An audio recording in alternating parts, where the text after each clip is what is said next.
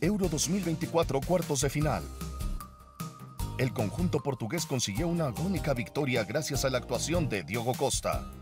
Los franceses por su parte tratarán de afinar sus armas para adueñarse del área rival.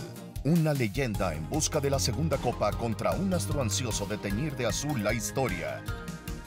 Portugal-Francia.